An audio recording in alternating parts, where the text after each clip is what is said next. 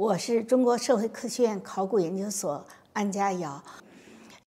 我的专业是汉唐考古，呃，因为按考古学，如果按照有无文字来说呢，主要分两大块：史前考古学和历史考古学。我们汉唐考古学是属于历史考古学的。原来在行业里有一句话是叫做“古不考三代以后”，也就是考古呢不考，呃，夏商周之后。但所以呢，历史考古学起步稍微晚一些。呃，中国考古学呢，现在刚刚走过了一百周年的纪念。因为中国考古学呢，是以一九二一年十月在河南渑池杨邵村发掘的呃新石器遗址作为中国考古学的起点。历史考古学呢，起步比史前考古学呢要晚一些。呃，因为大家说是古不考，呃，三代以后，是因为呢，觉得三代以后有文字记录了，有文献了，好像考古就不那么重要了。实际上，这个看法是很片面的。因为中国呢，虽然有历史记载了，但是记载呢多是，呃，政治史的记载，比如。最著名的二十四史，主要是呢是历史上的一些政治的大事、改朝换代的这些事情。但是真正的想了解历史的真实面貌呢，光靠文献是不够的。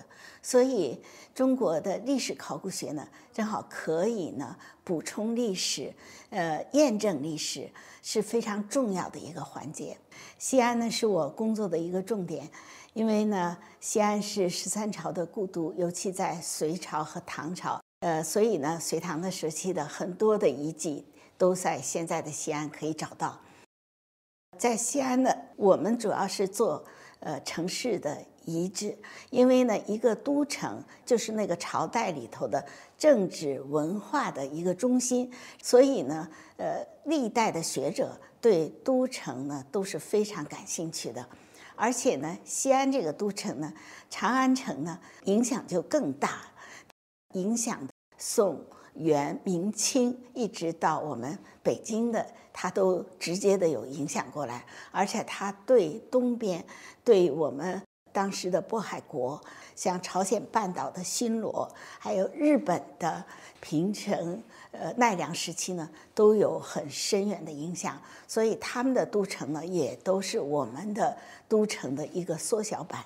所以呢，不但是国内的学者对于呃隋唐长安城感兴趣，一直到国外的学者对隋唐长安城也都非常感兴趣。嗯，所以我的研究发掘呢，就是在隋唐长安城，主要做了有大明宫的。一些重要的遗址，也对长安城的，呃，比如说很重要的皇帝祭天的天坛的遗址、圆丘遗址进行过发掘。隋唐时期呢，是佛教非常呃兴盛的时期，这时候呢，长安的这个寺院呢，大概就有二百多座。呃，现在留下的只是大雁塔、小雁塔。其实呢，当时呢有二百多座，而且呢，最主要的皇家寺院里头呢，有西明寺呢，我呢做了其中的一部分。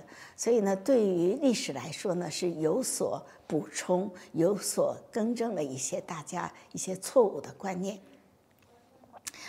呃，考古呢是一个。不断有所发现，不断给人惊喜的这么一个学科，所以呢，呃，做这个工作艰苦，虽然艰苦，但是呢，因为有不断的有新的发现出现，所以呢，也是感到很幸福的一个工作。呃，我怎么走上考古之路的呢？这个呢，又是个比较呃长的话题了。因为我在中学的时候呢。文理分科的时候，我选的是理工科，但是正好六六年呢，我高中毕业准备考大学的时候呢，文化大革命开始了，所以我的学业就中断了。中断之后呢，我在北大荒呢待了五年，之后呢，从北大荒呢又呃到了西北甘肃定西陇西县，在一个三线工厂来教中小学生常办的学校。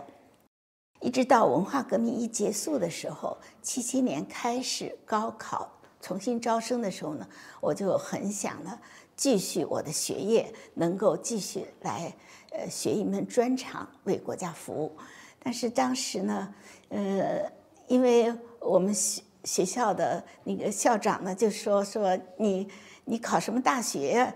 你我们就一直把你当大学生用着呢，你还考什么大学？你要考你就考研究生吧。我这也激了我一下。后来我一想要考研究生也成啊，但是呢，我因为理工科已经放了有。十年了，再考理工科可能比较困难了。正好呢，中国科学院考古研究所当时招收呃研究生，我就想走一个捷径，因为我父亲就是考古学家，所以家里的书也比较多，所以我就报了这个中国科学院考古研究所的呃研究生院的研究生，走上了考古之路。今天我们就。呃，暂时聊在这，呃，同学们先再见。